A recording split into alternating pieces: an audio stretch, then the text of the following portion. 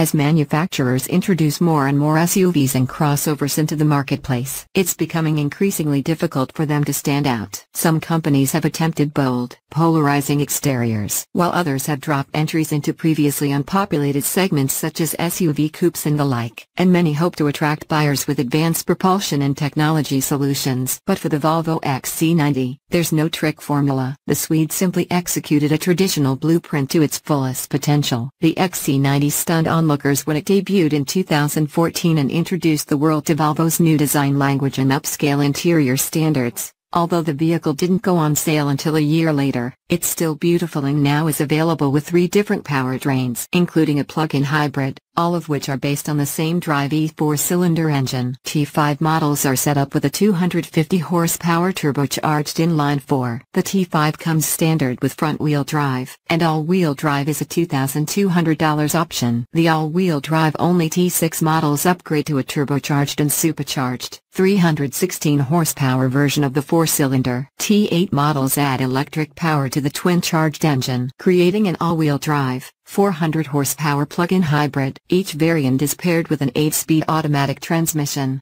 All XC90s come standard with seating for up to 7 people. With one outlier, the T8 can be ordered as a model called the XC90 Excellence, with two rows and four individual seats for a looks limo experience. What's new? After introducing the T8 plug-in to the XC90 lineup shortly after the model's launch, Volvo already is improving its hybrid with a higher capacity battery pack for 2018. In place of the previous 9 2 kilowatt-hour pack is a 10 4 kilowatt-hour unit that enables an EPA-rated 19 miles of electric range, 5 more than before. With a revamped XC60 now in the mix. Volvo also decided that the two-row XC90 was redundant, aside from the excellence, and made the third row standard. Perhaps more important, Volvo finally made Apple CarPlay and Android Auto standard across the range for 2018. Volvo's Sensus infotainment system, which controls everything on a standard 9.0-inch vertically oriented touchscreen, has beautiful graphics but can be confusingly complex and sometimes cumbersome to use. Once familiarized with the sequencing, it's fairly simple. Yet some functions are simply buried too deep in the cascading menus for convenient use while in motion. The XC90 now comes standard with more safety technology as well,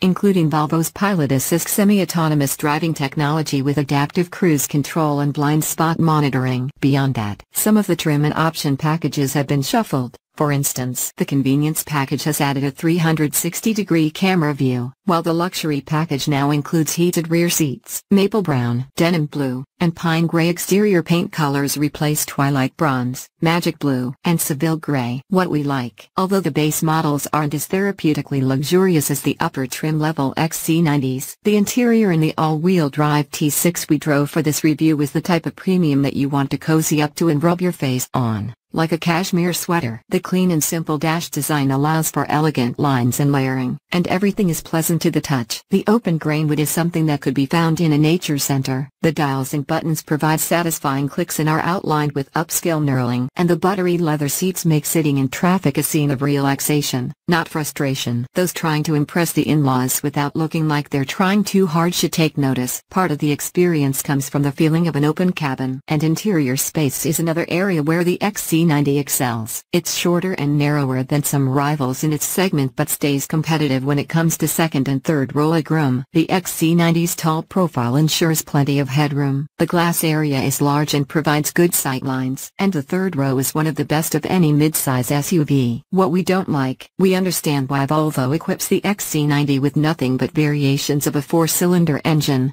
Regulatory fuel economy requirements are growing ever stiffer worldwide but that doesn't mean we necessarily enjoy it. Off the line, the XC90 packs a decent punch, with the quickest non-hybrid example that we've tested sprinting to 60 miles per hour in 6.0 seconds, but that time still is slower than those of many competitors with V6 engines. And the XC90 lacks passing power at its top end. The last XC90 T8 PHEV we tested did 0 to 60 in 5.3 seconds. The 8-speed automatic does its best to keep revs low with quick and smooth upshifts, but the engine noticeably gasps to keep up, emitting an unpleasant and unrefined battle cry. Verdict. A stylish way to carry a crowd without major sacrifices.